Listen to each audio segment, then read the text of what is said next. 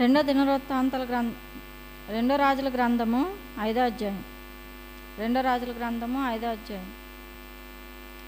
ఒకటి నుంచి పదిహేడు వచనాల వరకు మార్చి మార్చి చదువుకుందాం.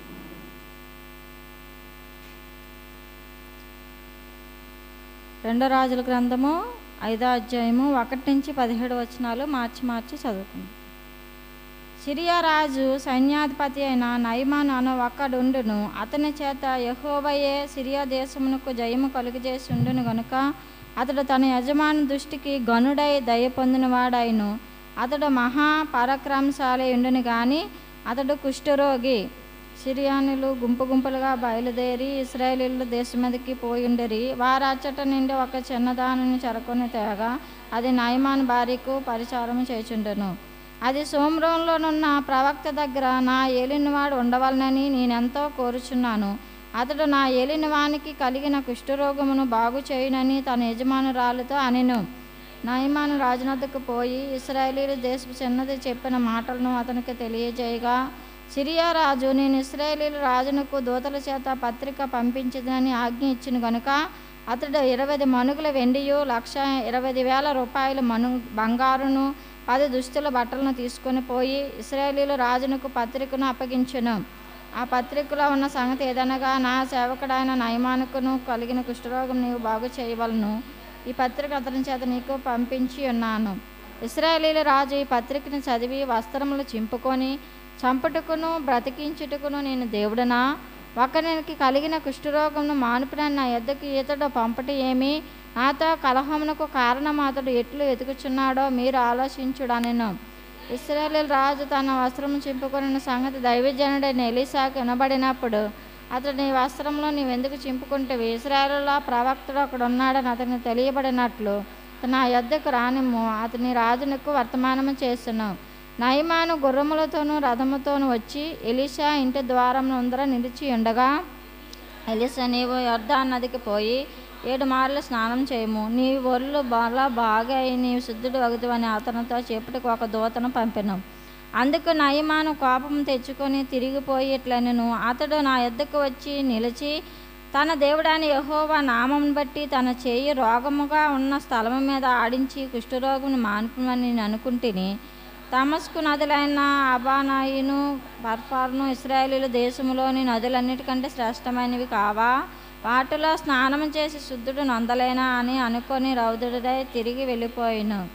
అయితే అతని దాసులలో ఒకడు వచ్చి నాయన ఆ ప్రవక్త ఏదైనా ఒక గొప్ప కార్యము చేయమని నియమించిన ఎడల నీవు చేయకుందువా? అయితే స్నానము చేసి శుద్ధుడు కమ్మని మాట దానికంటే మేలు కాదా అని అనినప్పుడు అని చెప్పినప్పుడు అతడు పోయి దైవజనుడు చెప్పినట్లు అర్ధాన్ నదిలో ఏడు మార్లు మునగక అతని దేహము పసిపిల్లల దేహం వలెను అతడు శుద్ధుడాయను.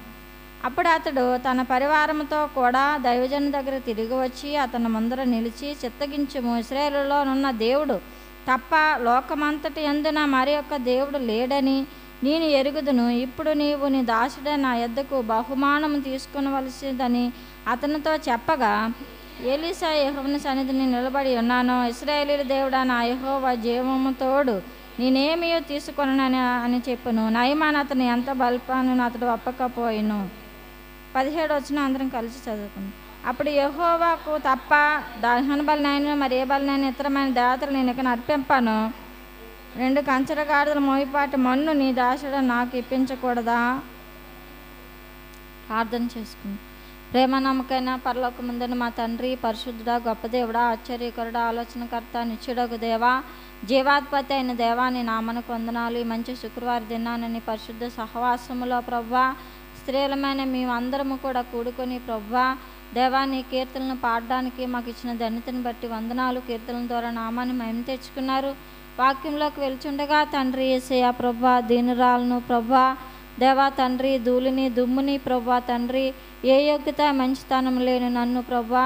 నన్ను మీ హస్తాలకు అప్పచెప్తున్నాను తండ్రి. ఈ పాపిని క్షమించి నీ రక్తంతో నన్ను కడిగి పరిశుద్ధపరిచి ప్రభా దేవా తండ్రి వాక్యములు ధ్యానించుండగా తండ్రి నన్ను నీ యొక్క జ్ఞానంతో నన్ను నింపండి నీ ఆత్మతో నన్ను బలపరచండి తండ్రి ప్రభా. నన్ను నిలవబెట్టువాడు నీవు ప్రభా నీ నిమిత్త మాతరాలను తండ్రి ప్రభా. దేవా తండ్రి నీవైతే తండ్రి జీవ వాక్యము గల దేవుడివి తండ్రి ప్రభా. దేవా అటువంటి వాక్యాన్ని తండ్రి ప్రభా మీరు మా మధ్యన విశదపరచండి మీరు మాతో మాట్లాడండి తండ్రి. నా నోటికి ప్రభా మీరు బోరగా ఉండండి తండ్రి. నన్ను సిలువుసాట మరుగుపరుచుకొని ప్రభా నీ స్వరాన్ని ప్రభా మాకు వినిపించండి తండ్రి ప్రభా. నీ వాక్యంలో ప్రభా పరిగి ఏరుకోవడానికి మాకు సహాయం చేయండి తండ్రి. స్త్రీలమైన మేము తండ్రి ప్రభా. దేవా తండ్రి ఏది ఏ రీతిగా ప్రభా మేము పాఠం నేర్చుకోవాలా తండ్రి ప్రభా. వినే వాక్యం ద్వారా ప్రభా మా జీవితాలను సరి చేసుకోవడానికి కట్టబడడానికి సహాయం చేయండి తండ్రి ప్రభా. దేవా తండ్రి నీవు అందించకపోతే ప్రభు ఏమీ చెప్పలేను తండ్రి ప్రభా. దేవా తండ్రి నేను నోటి మాంద్యం కలదాన్ని తండ్రి ప్రభా. దేవా మీరే నాకు తోడుగా ఉండండి నీ హస్తం సన్నిధి నాకు తోడుగా ఉంచిన తండ్రి ప్రభా. మా అందరికీ ప్రభా వినే చెవుని గ్రహించే హృదయాలను చూసే కళ్ళు నాకు మాకు దయచేయండి తండ్రి ప్రభా. ఆదిరిని అంతవరకు మీరు అధ్యక్ష ఉంచి నడిపించాను తండ్రి ప్రభా. దేవా తండ్రి ఎటువంటి ఆటంకం లేకుండా ప్రభా సరళముగా మార్గము క్రమముగా జరగడానికి కృప చూపించండి. లోకమైన మాటలను తండ్రి వ్యర్థమైన మాటలను ఉచ్చరింపకుండా దేవా తండ్రి నీ వాక్యాన్ని మాత్రమే ప్రభా తండ్రి దేవా వినిపించుకోవడానికి సహాయం చేయమని సమస్త మీ హస్తాలకు అప్పచెప్పుకుంటూ మహిమ ఘనత ప్రభాలు మీరే పొందమని మా రక్షకుడు మా విమోచకుడు నజరడనేసి క్రీస్తు నామంలో ప్రార్థించి వేడుకుంటున్నాను. పరమ తండ్రి. ఆమెన్. ఎవరు ఏ స్త్రీ స్త్రీ అనలేము. ఎవరి కోసము? వాక్యధ్యానము ఇస్రాయేలీలైనా చిన్నది. ఈమెకున్న పరిస్థితి ఏమిటి? జీవితం అంతా కూడా ఇస్రాయేలీల దేశంలో జన్మించింది. కానీ ఆమె ఏ గోత్రానికి చెందిందని ఏ వంశానికి చెందిందని రాయబడలేదు. మరలా ఏ ప్రాంతానికి చెందిందని కూడా రాయబడలేదు. వాళ్ళ తల్లిదండ్రులు కానీ ఏవి కూడా వివరాలు ఏమీ లేవు. ఇస్రాయేలీలు చిన్నది అంటే ఎరుసలేములో సంబంధించిన చిన్నది. ఇస్రాయేలీలు అనగా విమోచింపబడిన వారని అర్థము. అంటే ఈమె ఎవరు? ఇస్రాయేలీల చిన్నది. అయితే ఈ జీవితము చిన్నపిల్లలకు ఉన్న ఏంటంటే తల్లిదండ్రుల ప్రేమ. వారికి ఏమి తెలుసు ఏమి తెలియదు తర్వాత తన ప్రాంతము కాదు తన ఇల్లు కూడా కాదు. ఈ యొక్క ఏ కాలంలో ఇది జరిగింది అంటే ఎనిమిది వందల యాభై రెండు నుంచి ఎనిమిది వందల నలభై ఒకటి కాలం మధ్యన ఈ యొక్క సందర్భము జరిగింది. ఈ సంవత్సరము ఎనిమిది వందల యాభై రెండు నుంచి ఎనిమిది వందల నలభై ఒకటి ఆ సంవత్సర కాలంలో ఈ సందర్భం జరిగింది. ఎవరు ఏ రాజు కాలంలో జరిగిందంటే రెండో రాజుల గ్రంథము మూడో అధ్యాయము మొదటి వచనము. రెండో రాజుల గ్రంథము ఆహాబు కుమారుడని ఎహోరాము యోధా రాజా నెహుషపాత్ ఏలుబడిలో పద్దెనిమిదవ సంవత్సరమందు సోమరంలో ఇస్రాయేలీల వారికి రాజై పన్నెండు సంవత్సరములు ఏలును. ఏ రాజు?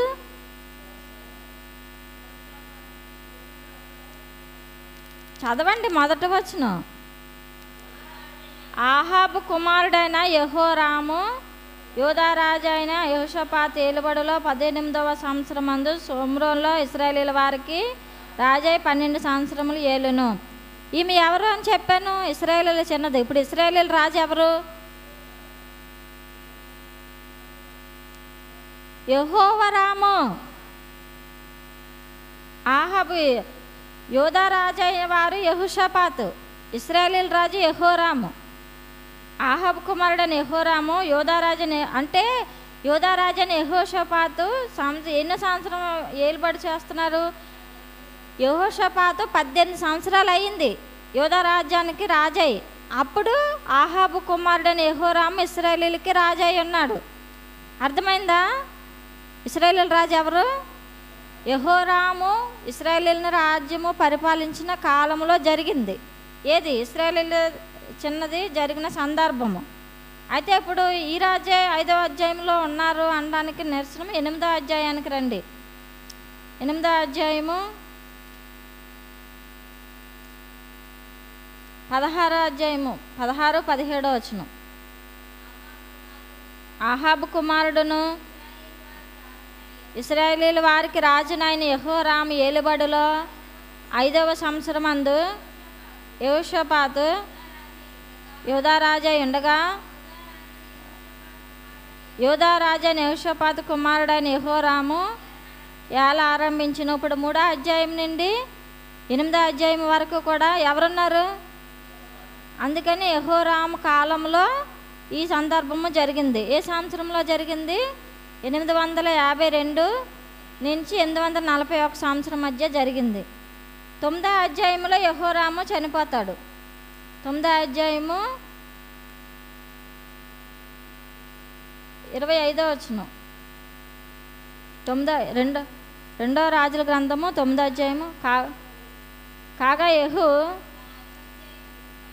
తన అధిపతి అయిన బిరుదారును పిలిచి ఇట్లనను అతను ఎత్తి అజహీలుడైన నాబోతు భూభాగమందు పడవయము.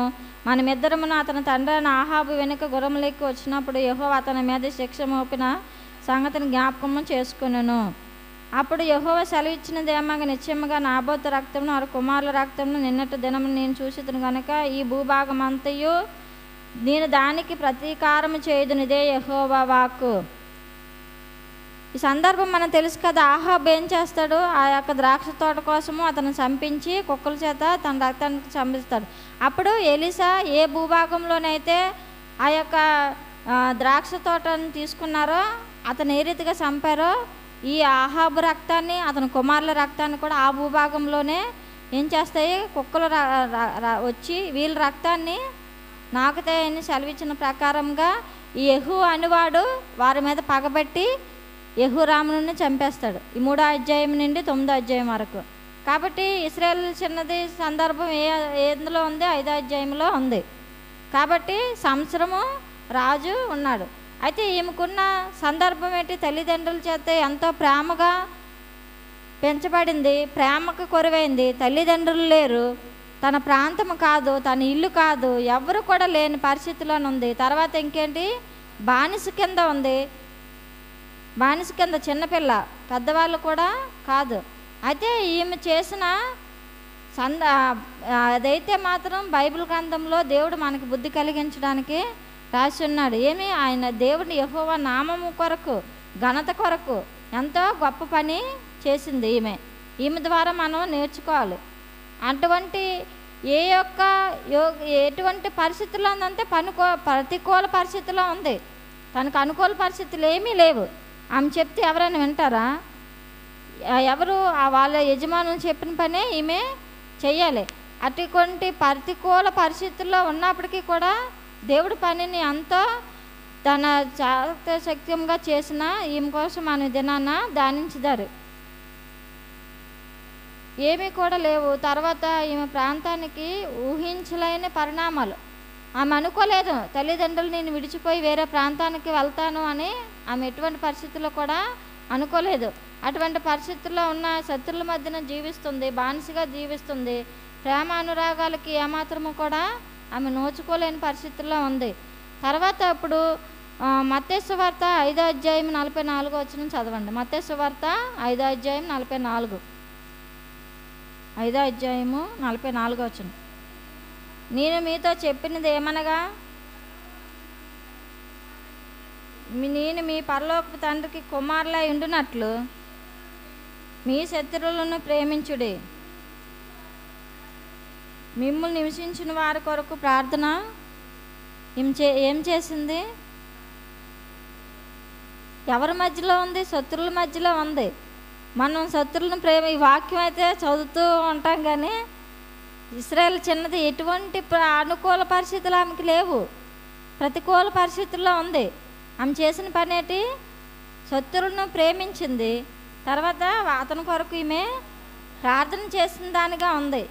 నువ్వు నేను ఈమెకున్న మనకు అన్ని అనుకూల పరిస్థితులే. ఏమీ మనకు ఆటంకాలు లేవు. దేవుడు కృపను బట్టి అన్ని పరిస్థితులు బాగున్నాయి. కానీ మనం శత్రులను ప్రేమిస్తున్నామా? ఈమె ద్వారా మనం పాఠం నేర్చుకునే వారుగా ఉండాలి. చదువుకుంటే వెళ్ళిపోయిన వాళ్ళు ఏమి ప్రయోజనం లేదు కానీ వాక్యం విని దాని ప్రకారంగా నడుచుకుంటేనే ధన్యులం అవుతాము. ఈమె ద్వారా మొట్టమొదటిగా మనం నేర్చుకున్న పాఠం ఏంటి? శత్రువులను ఎటు ఎటువంటి పరిస్థితుల్లో ఉండి ప్రేమించింది? ప్రతికూలమైన పరిస్థితుల్లో ఉండి ప్రేమించిన దానిగా ఉంది. అయితే ఈమెని ముందు చెప్పాను కదా ఎవరు లేరు ఆదరణ లేరు. కానీ యహోవ దేవుడు ఈమెని విడిచిపెట్టలేదు. యోహాన్ సువార్త యోహాన్ సువార్త.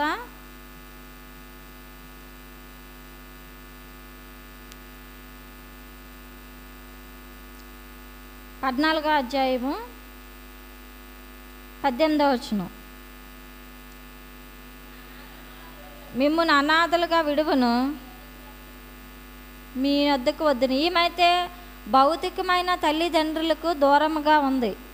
కానీ పరలోకపు తండ్రిని ఈమెని అనాథలుగా విడిచిపెట్టలేదు. ఎవరు లేని పరిస్థితుల్లో మనకి ఎవరు తోడు అంటే యహోవయ్యే దే తోడు మనకి. అందుకని మనం ఏమైనప్పటికీ కూడా దేవుడిని వాగ్దానాన్ని బట్టి దేవుడు ఏడు చెప్తున్నాడు మిమ్మల్ని అనాథలుగా విడిచిపెట్టనని ఈమె వాగ్దానం ఎప్పుడు పాత నిబంధన గ్రంథములో ఈమె ఉన్నది కానీ కొత్త నిబంధనలో ఉన్న వాగ్దానాలన్నీ ఈమె ఏం చేసింది? నెరవేర్చిన దానిగా ఉంది. శత్రులు ప్రేమించండి అని ధర్మశాస్త్రంలో లేదు. ధర్మశాస్త్రంలో ఏముంది? కంటికి కన్ను పంటికి పన్ను ప్రాణానికి ప్రాణం. కానీ ఆ ధర్మశాస్త్రంలో ఉండి ఏం చేసింది? కొత్త నిబంధనలు యేసుప్రభు వారు అప్పటికి రాలేదు. ఇస్రాయేలీల రాజులు దేశాన్ని పరిపాలిస్తున్నారు. అయితే యహోవా దేవుడు ఇస్రాయేలీలు రాజులు చేసిన పాపం బట్టి ఆ దేశాన్ని కూడా చెప్పించి బానిసలుగా తీసుకెళ్ళిపోయే పరిస్థితుల్లో ఉండి ఈమె ఏం చేసింది? శత్రువుని ప్రేమించింది. ఇప్పుడు మనం కొత్త నిబంధనలో ఉన్నాం.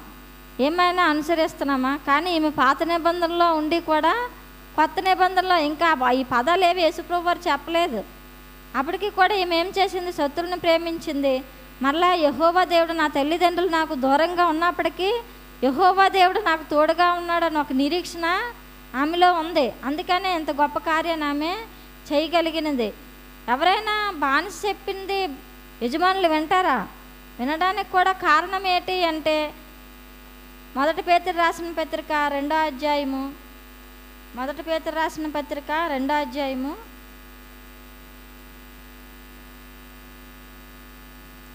పద్దెనిమిదో వచనం. పనివారులారా మంచివారును సాత్వికులైన వారికి మాత్రమే కాక ముస్కురులైన మీ యజమానులకును పూర్ణ భయముతో లోబడి ఉండుడి. చాలు. ఎవరికి లోబడి ఉండాలంట? ఈమె యజమానుడు ఏమైనా మంచివాడా? మంచివాడైతే బానిసకి ఎందుకు తీసుకొని వెళ్ళిపోతారు? ఎరుసలేమిని అంతటిని పాడు చేసి అంటే మీ అంత శ్రద్ధతో ఉందంట? ముస్కురులైన మీ యజమానులకు పూర్ణ భయముతో. భయముతో అని లేదు. పూర్ణ భయం అంటే సంపూర్ణంగా ఏ యొక్క లోపం లేనుగా. ఈమె మనస్ఫూర్తిగా ఏం చేస్తుంది? ఆ యొక్క యజమానులకి పూర్ణమైన భయ భయముతోనూ లోబడి ఉంది. అటువంటి ఈ మా దేశాన్ని పాడు చేశాడు. మమ్మల్ని బానిసలుగా తీసుకొచ్చాడు మా తల్లిదండ్రులకు దూరం చేశాడు. ఇతనికి ఇలాగే అవ్వాలి. ఏమొచ్చింది నయమానికి? అంటే ఆమెకి అంత బాధ అంతా పోయి ఏమొస్తుంది? మమ్మల్ని ఏడిపించినందుకు మళ్ళీ దేవుని కూడా వినియోగించుకుంటాం ఎందుకంటే దేవుడు మా ఇతను మాకు చేశాడు కాబట్టి దేవుడు ఇతనికి చేశాడు అని అని మాట కూడా అనివారుగా ఉంటాము.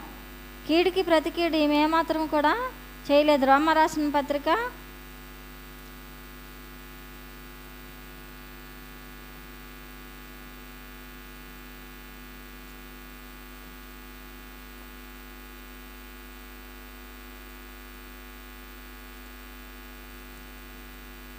రోమిల్ రాసిన పత్రిక పన్నెండో అధ్యాయము పద్దెనిమిది నుంచి ఇరవై ఒకటి వరకు చదువు శక్యమైతే మీ చేతనైనంత మట్టుకు సమస్త మనుషులతో సమాధానంగా ఉండుడి.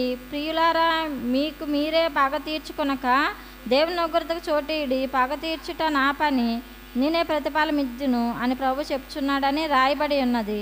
కాబట్టి నీ శత్రువు ఆకలి కొని ఉంటే అతనికి భోజనం పెట్టము దప్పికొని ఉంటే దాహమేము అలాగ చేయుట వలన అతని తల మీద నిప్పులు కుప్పగా పోయిదువు. కీడు వలన జయింపబడక మేలు చేత కీడును జయించవచ్చును. ఈమెం చేసింది? తనకి చేశాడు కీడు చేశాడు నయమను. అయినప్పటికీ కూడా ఈమె కీడుకి ప్రతి కీడును చేయలేదు. అతనికి మేలు చేసి కీడు వలన జయింపబడక మేలు చేత కీడును జయించిన దానిగా ఉంది. ఇక్కడ ఇతనికి నయమానికి వచ్చింది కుష్ఠము అయినప్పటికీ ఇతను ఎవరు? సైన్యాధిపతి. అసలు కుష్ఠరోగులు ఎక్కడ ఉండాలి ఊరు వెలుపులు ఉండాలి. లేవి కాండము?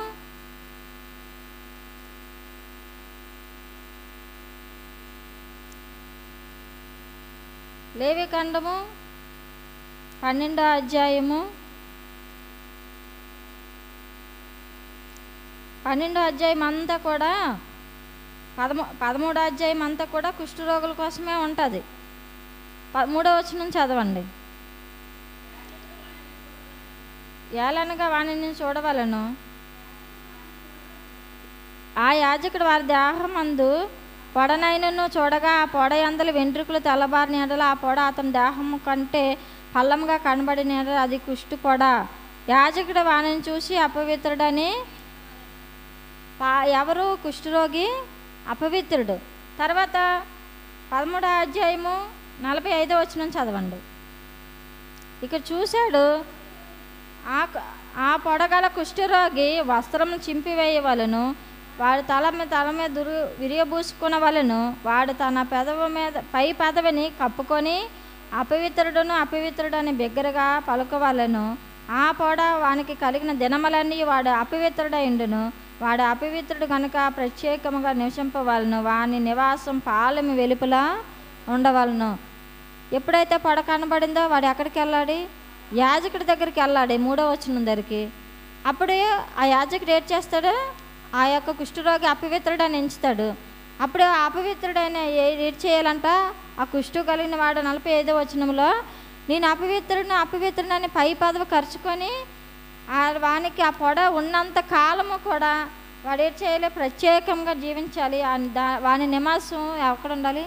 పాలెం వెలుపుల జనం మధ్య నివసించడానికి వీలు లేదు. ఇటువంటి పరిస్థితి ఎవరిది? నయమంది. ఇటువంటి ఉన్న పరిస్థితిని చూసి ఈ యొక్క ఇస్రాయేలీలు చిన్నది. అసలు యజమానులకు లోబడి ఉండాలి?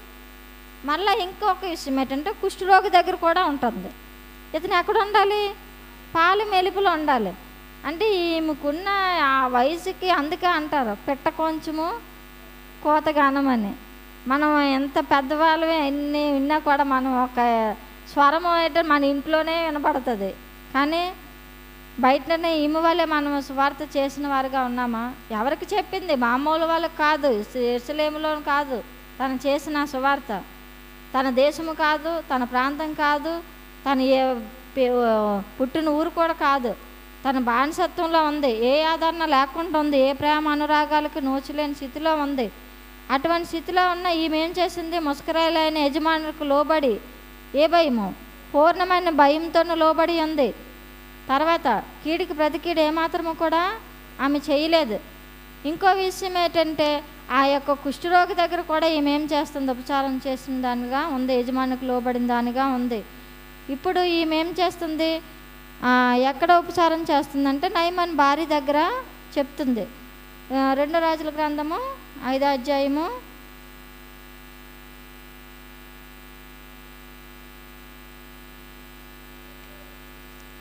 చదవండి రెండు రాజుల గ్రంథము ఐదో అధ్యాయము. సిరియా రాజులు గుంపులు గుంపులుగా బయలుదేరి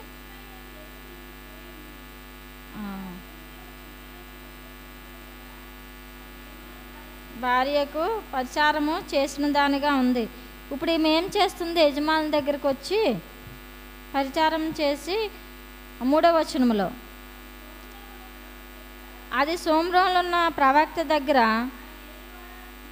నా ఏలిని వాడు ఉండవలనని నేను ఎంతో కోరుచున్నాను. అతడు నా ఏలిని వానికి కలిగిన కుష్ఠరోగును బాగు చేయనని తన యజమానురాలితో అనను. ఇవన్నీ కూడా యజమానికి లోబడి ఉంది. కుష్ఠరోగులు పాలం వెలుపులు ఉండాలి. అయినప్పటికీ కూడా వాళ్ళకు లోబడి ఉంటుంది. ఇప్పుడు ఏం చేస్తుంది? ఇవన్నీ కూడా దేవుడు చూస్తాడు. ఈమె ఎంత చక్కగా చెప్పిందంటే నా యజమానుడు. అంటే ఇంకేం చేస్తుంది? ఆమెకి అతనికి లోబడి ఉంటేనే ఆ మాట అనగలం. మనమైతే ఏమంటాం?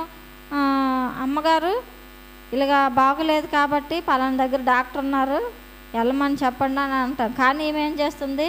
అక్కడ చెప్పే విధానం కూడా ఎదుటి వాళ్ళకి ఎలాగుందంటే కనికరము కలి ఈమె చెప్పిన మాటల మీద కనికరము దయ జాలి కలిగిన మాటలుగా ఏమి చెప్తుంది చిన్నదై. నా ఏలినవాడు శ్రీ శ్రోమరంలోని ఎవరున్నారు? ప్రవక్త దగ్గర. అసలు ఈ చిన్న పిల్లకి సోమరంలో ప్రవక్త ఉన్నాడని ఇస్రాయేల్ రాజుకే తెలియలేదు. ఎందుకు తెలియలేదు? కింద వచనంలో చదివితే ఈ విషయం విని ఈ యొక్క నయమాన్ని వెళ్ళి ఆ యొక్క సిరియా రాజుకి వర్తమానం ఇతను ఎవరు? సైన్యాధిపతి. ఎవరు? నయమాన్. ఈ నయమాన్ వెళ్ళి రాజు దగ్గరికి వెళ్ళి ఎలాగంటే సోమరంలో ప్రవక్త ఉన్నాడంట నా కుష్ఠరోగాన్ని బాగు చేస్తాడంట. నువ్వు ఇస్రాయేల్ రాజుకి పత్రికను పంపించమన్నప్పుడు ఏడవ వచనంలోను ఇస్రాయేల్ రాజు ఈ పత్రికను చదివి వస్త్రములను చింపుకొని చంపుటకును బ్రతికించుటకును నేను దేవుడనా? ఒకనికి కలిగిన కుష్ఠరోగను మానుపని నా యొద్దకి ఇతడు పంపుట ఏమి అని? అనేమో ఇస్రాయేల్ రాజు వస్త్రాలను చింపుకున్నాడంటే. నేను ఎలా బాగు చేస్తానంటే ఇతను ఏం ఆలోచించారు? నేను బాగు చేయగలనా? అంటే ఇస్రాయేల్ దేశంలో ఉండి కూడా తన దేశంలో ప్రవక్త ఉన్నాడు అతను అద్భుత కార్యాలు చేస్తున్న ఇస్రాయేలీలకు రాజుకు తెలిసిన సంగతి ఈ చిన్నదానికి తెలిసిందంటే ఎన్ని తెలియాలి? రాజునకు తెలియలేదు. ఇప్పుడు ఈమె పెంపకం ఎలాగుందంటే ఏపీసీలు రాసిన పత్రిక ఆరో అధ్యాయము నాలుగో వచనం. తండ్రులారా మీ పిల్లలకు కోపం రేపక ప్రభు యొక్క శిక్షణలోను బోధలోను వారిని పెంచుడి. ఈమె ఎందులో బోధించి పెంచబడింది? చిన్నది? ప్రభు యొక్క శిక్షణలోను ఉన్నది కాబట్టి ఈమెకే ఇస్రాయేలీల సోమరంలో ప్రవక్త ఉన్నాడని తెలుసుకోండి మరి ఇస్రాయేలీల రాజు ఉన్నాడా? లేడు. ఈమె ద్వారా అందుకనే ఈమెకి ఎంత అద్భుత కార్యాన్ని దేవుడు ఈమె ద్వారా అనుగ్రహించాడు. ఇక ఇస్రాయేలీల రాజు గుర్తించలేదు. ఇస్రాయేలీల రాజు తన తండ్రి అయిన ఆహాబు చర్యలనే చేస్తూ వచ్చాడు. కాబట్టి అందుకనే ప్రవక్తల్ని ఆశ్రయించలేదు. ఇస్రాయేలీలు చిన్నదైతే యహోవాని ఆశ్రయించింది. దావీదే చెప్తున్నాడు కీర్తన గ్రంథము ఇరవై ఏడో అధ్యాయము ఒకటి నుంచి మూడో వచనాలు. కీర్తన గ్రంథము ఇరవై ఏడు నుంచి ఒకటి నుంచి మూడు వచనాలు. ఇస్రే యహోవయ్య నాకు వెలుగును రక్షణనై ఉన్నాడు. నేను ఎవరికి భయపడుదును? యహోవా నా ప్రాణదుర్గము. ఎవరికి వెరుద్దును? నా శరీర మాంసం తినుటికై దుష్టులు నా మీదకు వచ్చినప్పుడు నన్ను బాధించే శత్రులు నా మీదకు వచ్చినప్పుడు వారి తొట్టిల్లి కూలిదురు. నాతో యుద్ధం చేయుటకు దండు దిగినను. నా హృదయము భయపడదు. నా మీదకి యుద్ధము రేగినను. దీనిలో నేను ధైర్యము విడవకుందును. దావీదు ఏం చెప్తున్నాడు? యహోవయ్య నాకు వెలుగును రక్షణ ఉన్నాడు నేను ఎవరికి భయపడదును. యహోవా నా ప్రాణ దుర్గము ఎవరికి నేను వెరుద్దును నా శరీర మాసం తినటికే దుష్టులు నా మీదకి వచ్చినప్పుడు నన్ను బాధించు శత్రు నా మీదకి వచ్చినప్పుడు వారి తొట్టిల్లి కూలిదురు. దావీదికి ఆశ్రయము యహోవా దేవుడు. కానీ ఈ యొక్క యహోరాము అన్న రాజుగా ఆహాబు తన తండ్రి అయిన ఆహాబు ఏ యొక్క చర్యలు అయితే చేశాడో ఆ ప్రకారంగా చేశాడు. కానీ అటువంటి అప్పుడేటి ఇస్రాయేల్ దేశంలో ఉన్నప్పటికీ కూడా తనకి అనుకూలమైన పరిస్థితులే. ఎలిసే గారు ఉన్నారు. ఆ కాలంలోనూ ఎవరు ఎలిసే గారు ప్రవక్తగా ఉన్నారు రాజులు. యహోరామ కాలంలో. అయినప్పటికీ కూడా ఈ యహో దేవుడిని ఆశ్రయిస్తేనే ప్రవక్త దగ్గరికి వెళ్తాడు. ఇతను ఎవరిని ఆశ్రయించాడు బయలుదేవతల్ని ఆశ్రయించిన వాడుగా ఉన్నాడు. కానీ ఇస్రాయేలీలు చిన్నది ఎవరిని ఆశ్రయించింది? యహోవాని ఆశ్రయించిన దానిగా ఉంది. తర్వాత ప్రభు యొక్క శిక్షణలోనూ బోధనలోనూ పెంచిన దానిగా ఉంది కాబట్టి ఈమె ఏం చేసింది? నయమాన్ దగ్గర భార్య దగ్గరికి వెళ్ళి నా యొక్క యజమానుడు సోమరోలు ఉన్న ప్రవక్త దగ్గరికి వెళ్ళి బాగు చేయనని చెప్పింది. కానీ ఈమె మాట ఆమె ఏమి విన్నది? వినడానికి కారణాలన్నీ ఏంటి? యజమానికి లోబడి ఉండడం వలన తర్వాత ప్రభు యొక్క శిక్షణలో బోధనలో పెంపకం పెరగడం వలన ఈమె యొక్క మాట తన యజమానురాలు విన్నది. విన్నప్పుడు ఈమె ఏం చేశాడు? ఇస్రాయేలీల రాజుకు వర్తమానం పంపినాడు. అతను వస్త్రాలను చింపుకునేవాడిగా ఉన్నాడు. ఆ వస్త్రాలు చింపుకున్నాడని ఎలిస గారు విన్నప్పుడు ఇతనికి కూడా ఇస్రాయేల్ రాజుకి ఎలిస గారు వర్తమానాన్ని పంపించిన వాడుగా ఉన్నాడు. రెండు రాజుల గ్రంథము ఐదో అధ్యాయము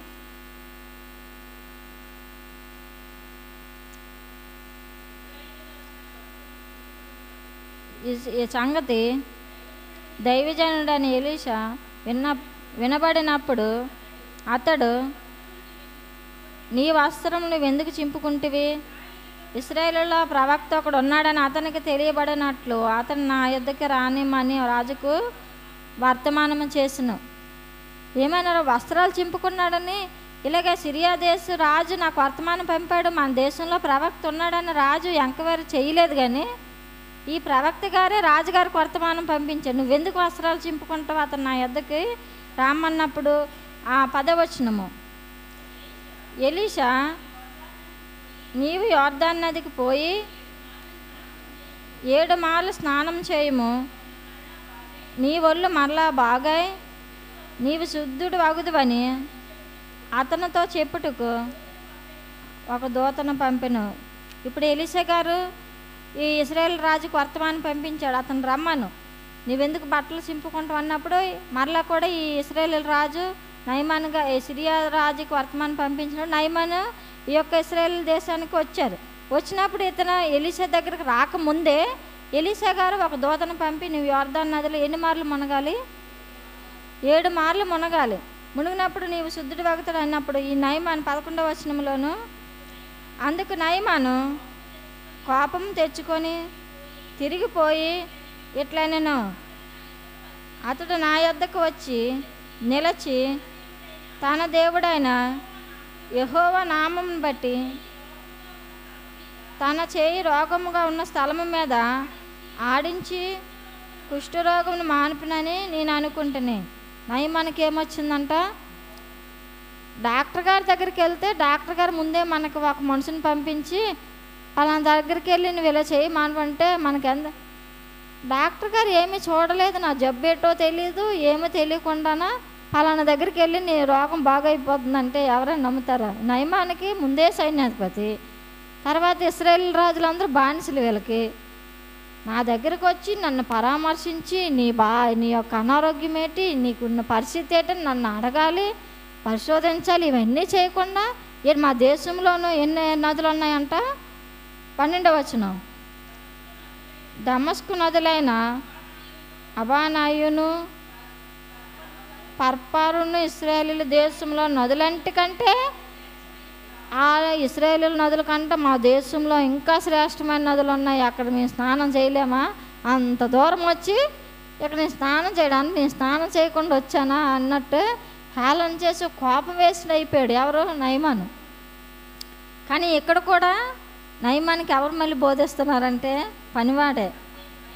అయితే అతను దాసులలో ఒకడు వచ్చి నాయన ఆ ప్రవక్త ఏదైనా ఒక గొప్ప కార్యము చేయమని నియమించిన ఎడలా నీవు చేయకుందవా?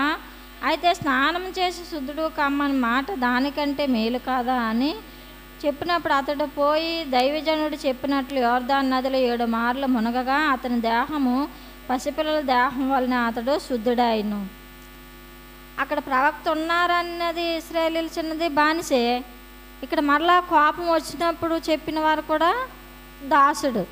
అంటే నయమానికి ఒక గొప్ప కార్యం ఉంది. ఏంటంటే చెప్పేది ఎవరైనా తనకంటే పెద్ద అధికారులు ఎవరు చెప్పలేదు. అక్కడ బానిస చెప్పింది ఇక్కడ దాసులు చెప్పాడు అయినప్పటికీ కూడా కోపం వచ్చినప్పటికీ మళ్ళా సరిచేయబడి మళ్ళా తిరిగి వెళ్ళి ఏడు మార్లు మునిగాడు. దీనికి యజమానులకున్న అర్థం ఏంటంటే ఏపీసీలు రాసిన పత్రిక ఆరో అధ్యాయము తొమ్మిదో వచనం. ఎపిసులు రాసిన పత్రిక. యజమానులారా మీకును వారికిని యజమాని అయిన వాడు పరలోకమందు ఉన్నాడనియు ఆయనకు పక్షపాతం లేదనియు ఎరిగిన వారే వారిని బెదిరించుట మాని ఆ ప్రకారమే వారి ఎడల ప్రవర్తించడి. నయం అనుకున్న కోపం ఉన్న ఎన్ని ఏది ఉన్నప్పటికీ ఈ క్వాలిటీ ఉంది. ఏది? ఈ నేను అంత యజమానునైనా వాళ్ళు బానిసలు పనివాళ్ళు అయినా దాసులు అయినప్పటికీ కూడా పరలోకమందు అందరికీ యజమానుడు ఉన్నాడనుండి ఏ ఒక్క పక్షపాతం లేకుండా వారి ఎడల నువ్వేటి అసలు నాకు చెప్పేది నేను చెప్పిన మాట నువ్వు వినాలి కానీ అన్నే బెదిరింపు? ఏమి కూడా లేదు. చెప్పిన వెంటనే సక్రమంగా విన్నాడు ఎవరు నైమాన్ అసలు ఇస్రాయల్ చెన్న చెప్పింది విన్నాడు ఇక్కడ దాసుడు చెప్పింది అన్నాడు అంటే యహోవా యొక్క క్రమంలోనికి నడిచాడు. ఇప్పుడు ఏడు మార్లు ఎందుకు మునగాలి నైమాను? అంటే ఇతనికి ఎందుకు వినాలి ఏడు మార్లు అంటే అక్కడ నయమాను ఎలిసా చెప్పిన మాటకి ఎంతో కోపం వచ్చింది. మరి కుష్ఠరోగం దేని వల్ల వస్తుంది? పాపం వల్ల వస్తుంది. ఏడు మార్లు అంటే ఇతనిలో ఉన్న ఇవన్నీ పోవడానికి ఇవన్నీ కూడా మనకి ఎక్కడ ఉంటాయంటే హృదయంలోనూ ఉంటాయి. ఏడు మార్లు మునగడానికి కారణము ఆ యొక్క స్థాయి నుండి సైన్యాధిపతి ఆయన అధికారం నుండి ఆ గద్ద నుండి కిందకి దిగాలి అంటే అందుకని ఏడు మార్లు ఇతనిలోను ఉన్నవన్నీ ఒక్కొక్కసారి మునిగినప్పుడు ఒక్కొక్కటి విడిచిపెట్టిన వాడిగా ఉన్నాడు. హృదయంలో నుండి ఏం చెప్పవాలంటే కీర్తన గ్రంథము అరవై ఆరు పద్దెనిమిదో వచ్చిన మొట్టమొదటిది. నా హృదయంలో నేను పాపం లక్ష్యం చేసిన ఎడల దేవుడు నా మనం వెనుకపోను. అంటే హృదయంలో ఏముంది? పాపం వలన వచ్చేది కుష్టము హృదయంలో ఉన్నది మొట్టమొదట ఉన్నది హృదయంలో ఎటుంది నయమానికి పాపము. ఒకసారి మునిగాడు. హృదయంలో ఉన్నది పాపము పోయినది. ఇరిమియా గ్రంథము పదిహేడు అధ్యాయము తొమ్మిదో వచనం. ఇరిమియా గ్రంథము పదిహేడు తొమ్మిదో వచనం. హృదయం అన్నిటికంటే మోసకరమైనది. అది ఘోరమైన ఎదగలదు మొదటిసారి మునిగాడు పాపం పోయింది. రెండోసారి మోసకరమైనది. ఏంటి? హృదయము. దానిని పోగొట్టుకున్న వాడిగా ఉన్నాడు. మూడోది రోమ రోమిల్ రాసిన పత్రిక ఒకటి ఇరవై రెండు. రోమిల్ రాసిన పత్రిక ఒకటి ఇరవై రెండు. వారి అవివేక హృదయము అంధకారమైన. హృదయం ఎలాంటిది? అంధకారంతో నిండిపోయింది. చీకటితో నిండిపోయింది. మొట్టమొదట మునిగినప్పుడు పాపం పోయింది. రెండోసారి మునిగినప్పుడు మోసకరమైనది. సైన్యాధిపతి ఎంతమందిని మోసం చేసిన వాడిగా ఉన్నాడు. అటువంటి మోసకరమైన జీవితం పోయింది. మూడోసారి పోయినప్పుడు తన హృదయం అంతా పాపంతో ఉందిగా చీకటితో నిండిపోయింది. అటువంటి హృదయం పోయింది. మూడోది నాలుగోది నిర్గమాకాండము తొమ్మిది ముప్పై ఐదు. నిర్గమాకాండము తొమ్మిది ముప్పై ఐదు.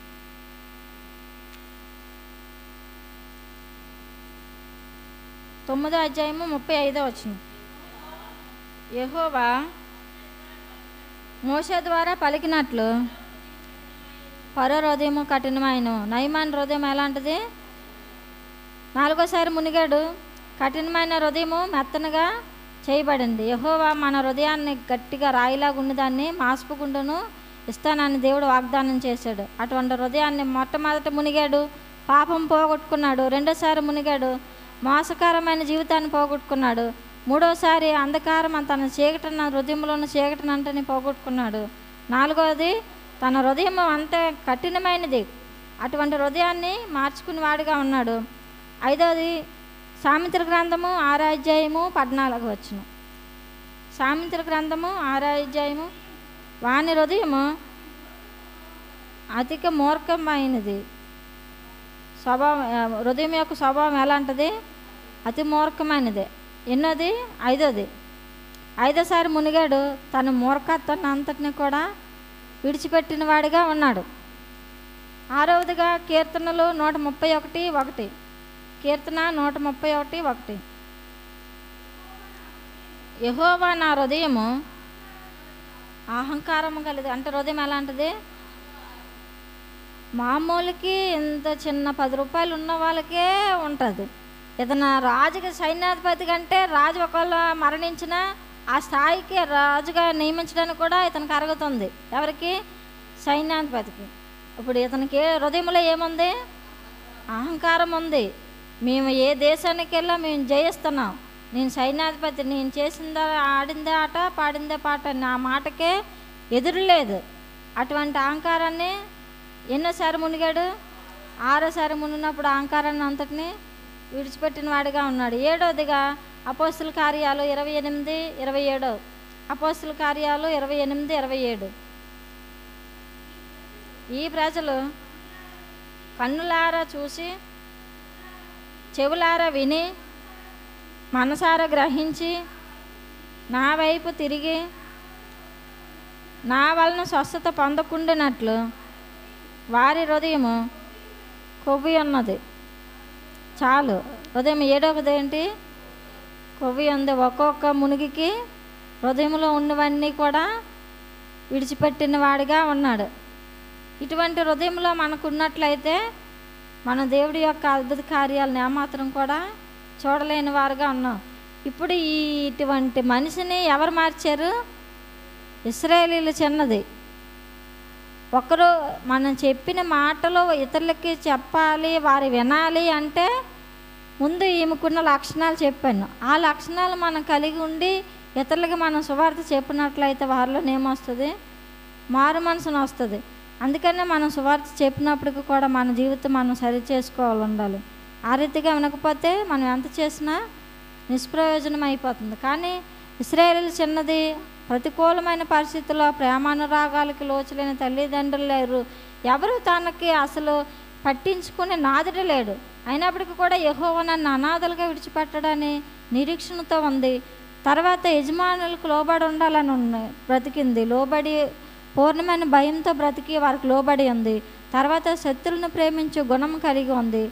తనకి కీడు చేసినప్పటికీ కూడా వారికి ప్రతి కీడు చేయకుండా మేలు చేసి కీడును జయించిన దానిగా ఉంది ఈమె.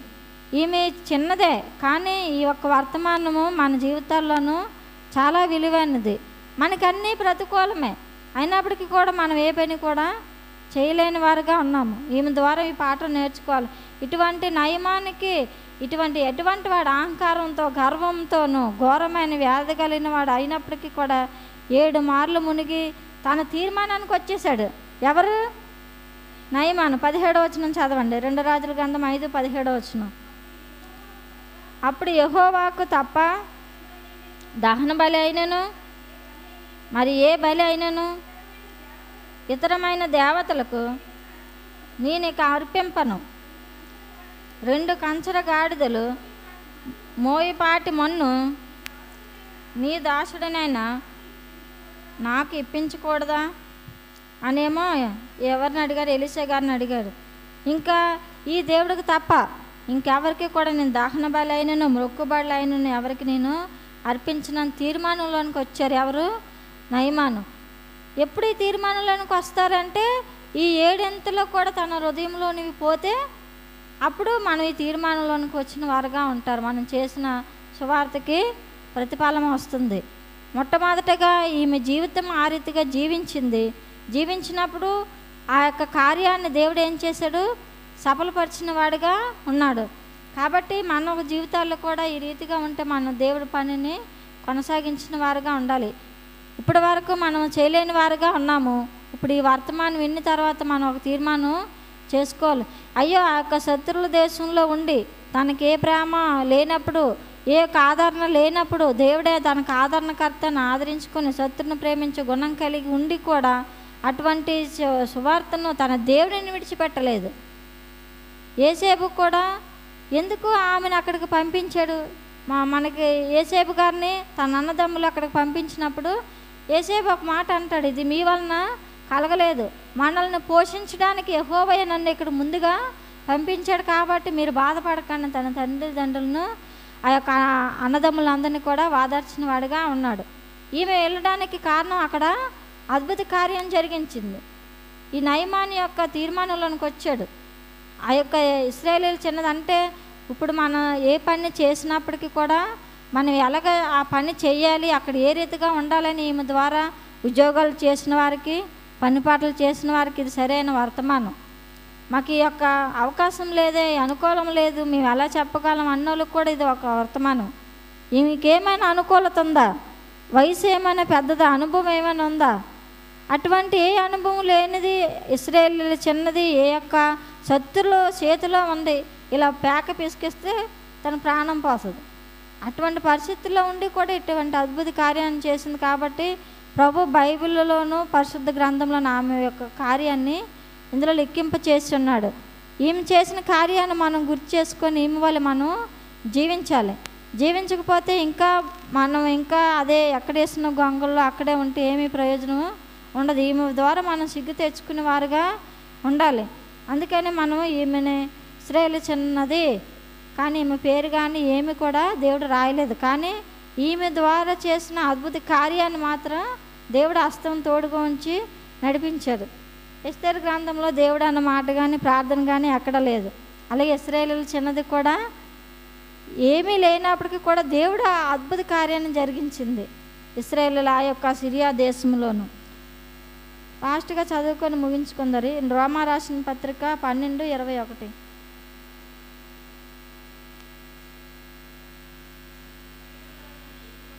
కీడు వలన జయింపబడక మేలు చేత కీడును జయించిన దానిగా ఉంది. ఎపిసిల్ రాసిన పత్రిక ఎపిసి ఆరో అధ్యాయము పదవ తుదకు ప్రభు యొక్క మహాశక్తిని బట్టి ఆయన యందు బలవంతులై ఉండుడి. మీరు అపవాద తంత్రములను ఎదిరించినట్లు శక్తిమంతులగినట్లు. దేవుడిచ్చు సర్వాంగ కవచము ధరించుకునుడి. తర్వాత పద్దెనిమిదో వచ్చిన పదహారు పదహారు. ఇవన్నీ కాక విశ్వాసమను డాల్ను పట్టుకొని దానితో మీరు దుష్టుని బాణములన్నిటినీ ఆర్పుటకు శక్తిమంతులు అగుటకు శక్తిమంతులు అవుదురు ఈ యొక్క పదో వచనము పదహారో వచనములో ఈమె సరిగ్గా ఇస్రాయేల్ చిన్నది చేసిన దానిగా ఉంది. తన శత్రులు ఎదుట ఉంది. వారిని ఎదిరించే శక్తి ఈమెకున్న విశ్వాసమే. దేవుడిని ఆశ్రయించింది. దేవుడి మీద విశ్వాసం ఉంచింది.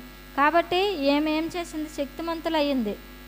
మనం కూడా శత్రువుల వలె ఉండే శత్రువుల మధ్యనే నివసిస్తున్నాం. అన్యులకి చేసిన మధ్యలో మనకి ఏమొస్తుంది?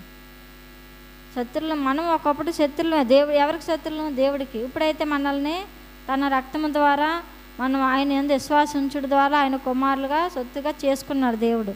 అయితే ఇప్పుడు మనకున్న శత్రువు ఎవరు?